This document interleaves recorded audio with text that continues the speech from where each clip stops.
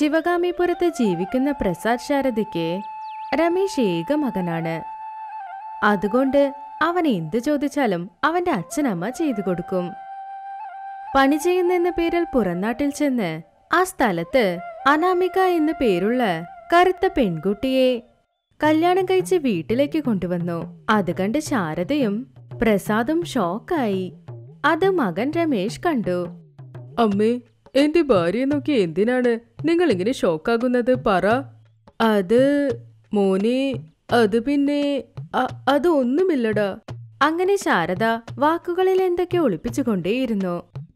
അമ്മേ മനുഷ്യർക്ക് വേണ്ടത് നല്ല മനസ്സാണ് കളറല്ല. എന്റെ ഭാര്യയെ ഇഷ്ടപ്പെട്ടില്ലെങ്കിൽ പറയൂ ഞാൻ വീട്ടിൽ നിന്ന് പുറത്തു പോകും. ഓമനിച്ച് വളർത്തിയ ഒരു മകൻ രമേശ് പുറത്തു പോകുമെന്ന് പറഞ്ഞതും അത് അച്ഛനമ്മയ്ക്ക് സഹിക്കാനേ കഴിഞ്ഞില്ല. പരസ്പരം നോക്കിക്കൊണ്ട് കരഞ്ഞു. അത് രമേശും ഭാര്യയും കണ്ടു. നിങ്ങളെ വിഷമിപ്പിച്ചെങ്കിൽ എന്നോട് ക്ഷമിക്കൂ. അയ്യോ അങ്ങനെ ഒന്നുമില്ല എന്റെ മോനെ. ഞങ്ങൾക്ക് നിന്റെ സന്തോഷമാണ് വലുത്. എനിക്ക് ഈ പെൺകുട്ടി പ്രശ്നമില്ല. ഈ കുട്ടിയുടെ പേര് ഇവളുടെ പേര് അനാമികയാണച്ചാ. ഞങ്ങൾക്ക് ഈ കുട്ടിയെ കൊണ്ട് ഒരു പ്രശ്നവുമില്ല. ഞങ്ങൾക്കുള്ളത് നീ ഒരേ ഒരു മകനല്ലടാ. ഇന്നു മുതൽ അനാമികയെ മരുമകളായല്ലാതെ സ്വന്തം മകളായി നോക്കിക്കോളാം. അതെ മോനെ നീ ചെന്ന് നിന്റെ പണി നോക്ക്. അങ്ങനെ പറഞ്ഞതുകൊണ്ട് രമേശ് പുറപ്പെട്ട് പണിക്ക് പോയി. അങ്ങനെ നാളുകളും കടന്നു. മരുമകൾ ചെയ്യുന്ന കാര്യങ്ങൾ സഹിക്കാനാകാതെ ശാരദയ്ക്കും പ്രസാദനും ഒരുപാട് തലവേദനയുണ്ടായി. അത് സഹിക്കാനാകാതെ രമേശിനെ വരുത്തിച്ചെല്ലാം അവനോട് പറഞ്ഞു. മോനെ രമേശേ നിന്റെ ഭാര്യ ചെയ്യുന്ന കാര്യങ്ങൾ ഇതിനേക്കാൾ ഞങ്ങൾക്ക് സഹിക്കാനാവില്ലടാ. നിന്നെ കൈകൂപ്പി തൊഴാം. നിന്റെ ഭാര്യയെയും തൊഴാം. എന്താ അമ്മേ? പെട്ടെന്ന് ഇങ്ങനെ സംസാരിക്കുന്ന എന്തു പറ്റി? വേറെന്തു ചെയ്യാനാ മോനെ? ഈ പെൺകുട്ടി ചെയ്യുന്ന പ്രാന്തൊക്കെ കാണുമ്പോൾ ഈ പെൺകുട്ടി ഇതൊക്കെ അറിഞ്ഞു ചെയ്യുന്നു അറിയാതെ ചെയ്യുന്നു എന്ന് അറിയുന്നില്ല. തീ പിടിക്കാതെ ഈ വീട് മാത്രമേ ഇപ്പൊ ബാക്കിയുള്ളൂ. അമ്മേ എന്ത് സംഭവിച്ചു എന്ന് ശരിക്കും പറ എനിക്കൊന്നും മനസ്സിലായില്ല. മോനെ രമേശേ അന്ന് നീ എപ്പോഴും പോലെ തന്നെ ഓഫീസിലേക്ക് പോയില്ലേ? അത് കഴിഞ്ഞ് എന്ത് സംഭവിച്ചെന്നോ? അങ്ങനെ ശാരദ തന്റെ മരുമകൾ ചെയ്ത മണ്ടത്തരങ്ങളൊക്കെ പറയാൻ തുടങ്ങി. ഹാളിലിരുന്ന് ടി വി കണ്ടുകൊണ്ടിരുന്നു അവരുടെ മരുമകൾ അനാമിക. അപ്പോഴാണ് ശാരദ ഹാളിലേക്ക് വന്നത്. മോളെ അനാമിക ടി വി കണ്ടതൊക്കെ മതി.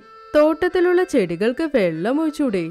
തീർച്ചയായും മമ്മി ഇപ്പൊ തന്നെ ചെന്ന് തോട്ടത്തിലുള്ള എല്ലാത്തിനും വെള്ളം ഒഴിച്ചിട്ട് വരാം. ഒഴിക്കുന്നത് വെറുതെ മുകളിൽ തെളിക്കുന്നതല്ല. ചെടിയിലെ വേരൊക്കെ നനയുന്ന പോലെ ഒഴിക്കണം. അത് ഓർമ്മയിൽ വെച്ച് പോയി വെള്ളം ഒഴിക്കും മോളെ അങ്ങനെ തന്നെ ചെയ്യാം. എന്ന് പറഞ്ഞ് അവിടെ നിന്ന് പോയി. ചെടിക്ക് വെള്ളം ഒഴിക്കാൻ ചെന്നു. അവിടെയുള്ള ബക്കറ്റ് കൊണ്ടുപോയി വെള്ളം നിറച്ച് ഒരു ജഗ് എടുത്ത് എല്ലാ ചെടിയിലും വെള്ളം ഒഴിച്ചു കൊണ്ടേയിരുന്നു അപ്പ എല്ലാ ചെടികൾക്കും വെള്ളം ഒഴിക്കുന്നതും ചെയ്തു. അപ്പ ചെടികളുടെ വേര് നനഞ്ഞോ ഇല്ലയോ എന്ന് അവൾക്കൊരു സംശയം തോന്നി. ഒരു ചെടി പറിച്ച് വേര് നോക്കി. ആ വേര് നനഞ്ഞതേയില്ല. അത് വെള്ളമുള്ള ബക്കറ്റിൽ കൊണ്ടുപോയി മുക്കി. ഉടനെ അതിന്റെ വേര് നനഞ്ഞു. ഓരോ ചെടികളായി എടുത്ത് എടുത്ത് അതെല്ലാം തന്നെ ബക്കറ്റിലുള്ള വെള്ളത്തിൽ മുക്കി വീണ്ടും കൊണ്ടുപോയി ചട്ടിയിൽ വെച്ചു. മരുമകൾ എന്ത് ചെയ്യുന്നു എന്ന് കാണാൻ വേണ്ടി ശാരദ അവിടെ വന്ന് നോക്കി. ചട്ടികളിൽ ചെടികളൊക്കെ വാടി നിൽക്കുന്നത് അവർ കണ്ടു. ശാരദ അമ്പരന്ന് നോക്കിക്കൊണ്ടേയിരുന്നു. കുറച്ച് സമയം കഴിഞ്ഞ് അനാമികയോട് വളരെ ദേഷ്യപ്പെട്ടു. മോളെ അനാമിക ഇതൊക്കെ എന്താ? നിങ്ങളല്ലേ അമ്മീ പറഞ്ഞത്? ചെടിയുടെ വേരുകൾ നനയുന്ന പോലെ വെള്ളമൊഴിക്കാൻ ഞാനും അത് തന്നെയാ ചെയ്തത്. ആദ്യം ഒഴിച്ച വെള്ളത്തിന് ചെടിയുടെ വേരുകൾ നനഞ്ഞില്ല. അപ്പോ ആ ചെടികളൊക്കെ എടുത്ത് വെള്ളത്തിൽ മുക്കി മുക്കി വെച്ചു. ഇപ്പൊ കണ്ടോ? വേരുകൾ എത്ര നനഞ്ഞിട്ടുണ്ടെന്ന്? നിന്നോടൊരു പണി പറയുന്നതിനേക്കാൾ അത് ഞാൻ തന്നെ ചെയ്യാം. ഒരു പണി പോലും ശരിക്കും ചെയ്യുന്നില്ല. പാൽ കൊണ്ടുപോയി ഫ്രിഡ്ജ് വെക്കാൻ പറഞ്ഞ അത് അലമാരയിൽ വെച്ചൂടെ എന്ന് പറയുന്നു നീയെ. പാലും കൊണ്ടുപോയി അലമാരയിൽ വെച്ചു. അതെ അമ്മേ പാൽ എപ്പോഴും ഫ്രിഡ്ജിൽ തന്നെ വെക്കണോ? അലമാരയിൽ വെച്ചാൽ എന്താ? നിന്റെ മണ്ടത്തരം കണ്ട് എനിക്ക് തല വേദനിക്കുന്നു. തുണികൾ കൊണ്ടുപോയി അലമാരയിൽ വെക്കാൻ പറഞ്ഞു. അതിന് നീ ചെയ്തത് വേണ്ട വേണ്ട ഫ്രിഡ്ജിൽ വെക്കുമെന്നും. ഡിഫറെന്റ് ആയി തിങ്ക് ചെയ്യണം അമ്മേ. നമ്മളിപ്പോ ഏത് വർഷത്തിലാണെന്നറിയുമോ? അന്നൊരു ദിവസം നീയെ വീട്ടിൽ തന്നെ ഹെൽമെറ്റ് ഇട്ടു. വടയിൽ മാത്രം ഓട്ടയുണ്ടായാൽ മതിയോ? ഇഡ്ഡലിയിൽ ഉണ്ടായിക്കൂടെ എന്ന് ഓട്ടയിട്ട് ഇഡ്ഡലി വേണമെന്ന് വാശി പിടിച്ചു. ഇതൊക്കെ എന്താണ് മോളെ? ഇതൊക്കെ ന്യൂ ജനറേഷന്റെ ന്യൂ തിങ്കിങ് ഞങ്ങളുടെ നാട്ടിലിത് മണ്ടത്തരം എന്ന് പറയും. അങ്ങനെ തോട്ടത്തിൽ നിന്ന് വീട്ടിലേക്ക് പോയി ശാരദ. അനാമിക ചിരിച്ചുകൊണ്ട് ആ സ്ഥലത്തിൽ നിന്ന് ഹാളിലേക്ക് വന്നു. വീണ്ടും ഇരുന്ന് ടി വി കണ്ടു. ഇതാണ് മോനി സംഭവിച്ചത്. ഇങ്ങനെ ചെയ്താൽ എങ്ങനെയാ? എങ്ങനെ ഇവളോടൊപ്പം ഇരിക്കും? നിന്റെ ഭാര്യ ചെയ്യുന്നത് കാണുമ്പോൾ ഞങ്ങൾക്ക് ദേഷ്യം വരുന്നു. അമ്മേ അവളെ ഞാൻ പറഞ്ഞു മനസ്സിലാക്കാം.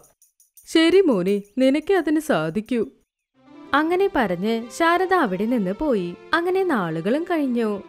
ഒരു ദിവസം ശാരദ അടുക്കളയിൽ പണി ചെയ്തുകൊണ്ടിരുന്നു. വിശക്കുന്നുണ്ടെന്ന് പറഞ്ഞ് മരുമകൾ അനാമിക അമ്മായിമ്മയുടെ അടുത്തേക്ക് വന്നു. അമ്മേ എനിക്ക് ഒരുപാട് വിശക്കുന്നു. കഴിക്കാൻ എന്തെങ്കിലും ഉണ്ടോ? ഇവിടെ നോക്കുമോളെ പാചകം ഇനിയും കഴിഞ്ഞിട്ടില്ല. മിണ്ടാതെ പോയി ഇരുന്ന് ഈ ബിസ്ക്കറ്റ് കഴിക്ക്. അപ്പോഴേക്കും ഉണ്ടാക്കി തരാം. അങ്ങനെ പറഞ്ഞ് പ്ലേറ്റിൽ കുറച്ച് ബിസ്ക്കറ്റ് ഇട്ടുകൊണ്ട് അത് അനാമികയ്ക്ക് കഴിക്കാൻ കൊടുത്തു. അനാമിക അത് എടുത്തുകൊണ്ട് കഴിക്കാൻ ചെന്നു. ശാരദ ഭക്ഷണം പാചകം ചെയ്തുകൊണ്ടേയിരുന്നു. ഒരു അരമണിക്കൂർ കഴിഞ്ഞതിന് ശേഷം പാചകപ്പണി കഴിഞ്ഞതുകൊണ്ട് അനാമിക എവിടെയെന്ന് നോക്കാൻ വന്നു. പക്ഷെ അവിടെ അനാമിക ഇല്ല. എവിടെ പോയി ഇവൾ? ഇവിടെ ഇരുന്നല്ലേ ബിസ്ക്കറ്റ് കഴിക്കാൻ പറഞ്ഞത്? ഇവിടെ അല്ലാതെ. ഈ പെൺകുട്ടി എവിടെ പോയി? അങ്ങനെ പറഞ്ഞ് അവിടെയും ഇവിടെയും നോക്കിക്കൊണ്ടിരുന്നു. അനാമിക ബെഡിനടിയിൽ ഉണ്ടായിരുന്നു. അമ്മേ ഞാൻ ബെഡിന് താഴെയുണ്ട്. ബെഡിനടിയിലിരുന്ന് ബിസ്ക്കറ്റ് കഴിക്കാൻ നിന്നോട് ആരാ പറഞ്ഞത്? അങ്ങനെ പറഞ്ഞ് ബെഡിന് താഴെയുണ്ടായിരുന്ന തന്റെ മരുമകളെ പുറത്തേക്ക് വലിച്ചുകൊണ്ടിരുന്നു. അനാമിക ബെഡ് ടൈറ്റായി പിടിച്ചു. ശാരദ പുറത്ത് വലിച്ചുകൊണ്ടേയിരുന്നു. അന്നത്തെ ദിവസവും കഴിഞ്ഞു. ഒരു ദിവസം ശാരദ മകനോട് സംസാരിച്ച് ആ വാക്കിൽ പറഞ്ഞു മോനെ രമേശേ നമ്മുടെ അനാമികയെ നല്ലൊരു ഡോക്ടറെ കൊണ്ട് കാണിക്കണം. അനാമിക ദിവസം തോറും ഒരുപാടധികം മണ്ടത്തരങ്ങൾ ചെയ്തുകൊണ്ടിരിക്കുന്നു. എനിക്കിനി സഹിക്കാൻ പറ്റില്ല. മരുമകളെ ഇപ്പൊ തന്നെ കാണിക്കുന്നത് നല്ലതാണെന്ന് തോന്നുന്നു. അങ്ങനെ ശാരദ പറഞ്ഞത് കേട്ട് രമേശ് ചിന്തിക്കാൻ തുടങ്ങിയിരുന്നു. ഒരു ദിവസം അനാമികയെ നല്ല ഡോക്ടറെ കാണിക്കാനും തീരുമാനിച്ചു. ഗോപാലപുരത്തുള്ള രമേശിന് വയസ്സ് മുപ്പത് കഴിഞ്ഞതിന് ശേഷം ഒരാലോചന വന്നു. അന്ന് തന്റെ അമ്മ ശാരദ അച്ഛൻ പ്രസാദിനോടൊപ്പം പെണ്ണ് കാണാൻ പോകുന്നതിന് മുന്ന് രമേശ് കണ്ണാടിയുടെ മുന്നിൽ നിന്ന് ഒരു മണിക്കൂറായി അവൻ അവനെ തന്നെ നോക്കിക്കൊണ്ടിരുന്നു. കണ്ണാടിയിൽ അവനെ നോക്കിക്കൊണ്ട് വയറധികം കാണുന്നില്ല ഡ്രസ്സും കുഴപ്പമില്ല ബോഡി ഡാമേജ് ആവാതെയുണ്ട്. പ്രധാനമായി തലയിൽ ഒരു വെള്ള മുടിയുമില്ല.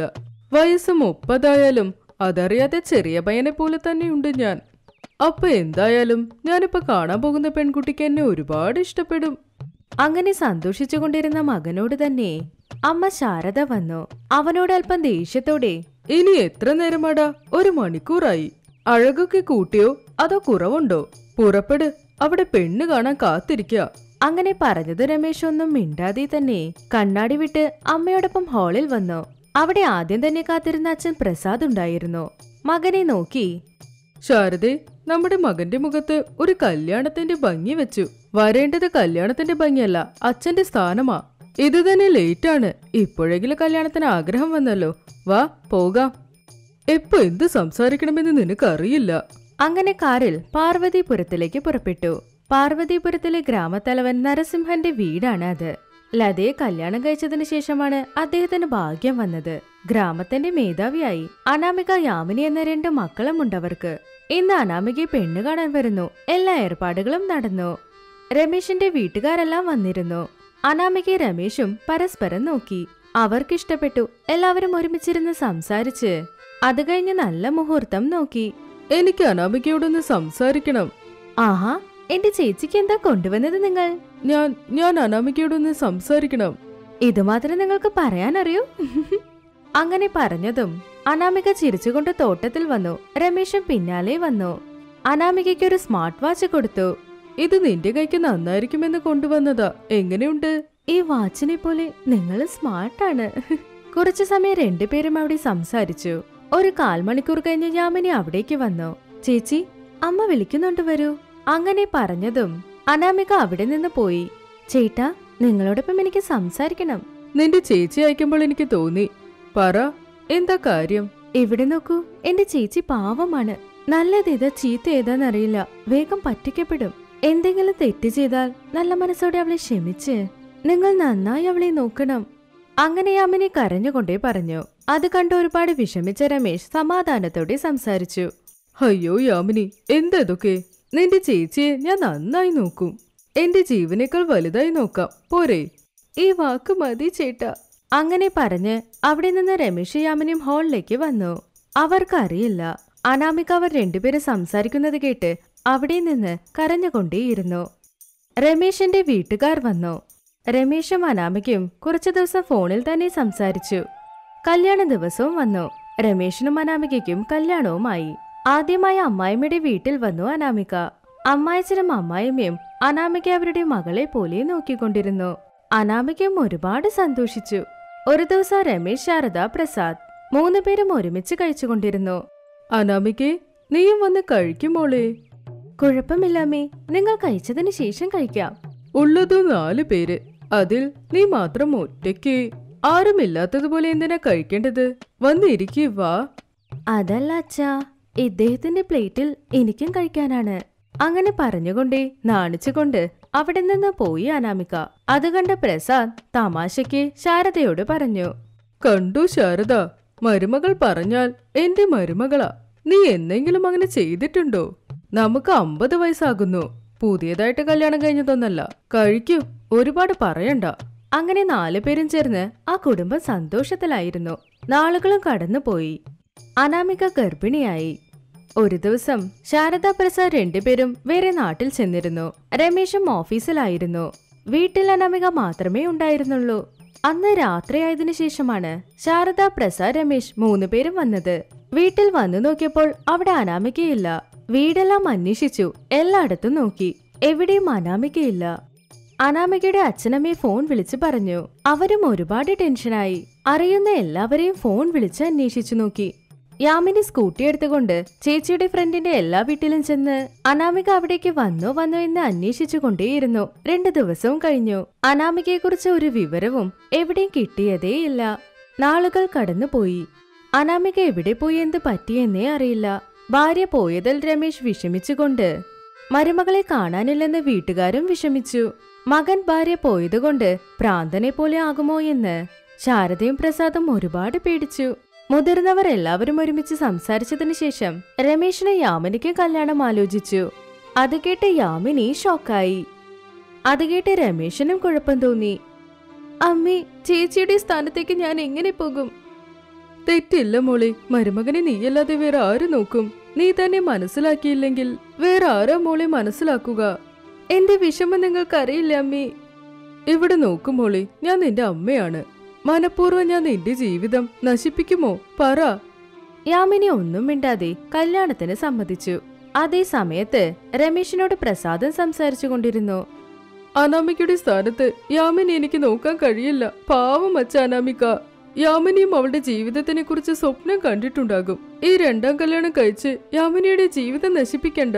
ഇത് യാമിനിയുടെ ജീവിതം അവൾക്ക് ഇഷ്ടപ്പെട്ട പോലെ കിട്ടണം. എന്റെ ജീവിതമോ ഇങ്ങനെ പോയി. എന്നെ വിട്ടേക്ക് വച്ച യാമിനിയെ കല്യാണം കഴിക്കാൻ ഞാൻ റെഡിയല്ല.